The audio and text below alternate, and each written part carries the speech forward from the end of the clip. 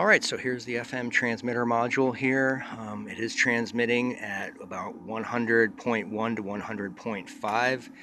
And according to the instructions, I've got a about a one meter uh, braided copper stranded wire here just from an old speaker cable. Um, and I soldered that onto the board there. So that seems to be working out pretty well. Just, got a 9 volt battery. Turning out to be a rousing success, Check it out. which is just a wonderful thing. 100.3 Uh, FM. Maybe when you come back out of the car, I can take a turn and listen to you on the radio. That would be pretty good, because I don't know what this sounds like.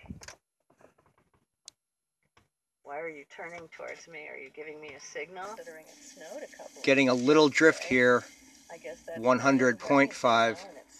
You Can hear in the background here.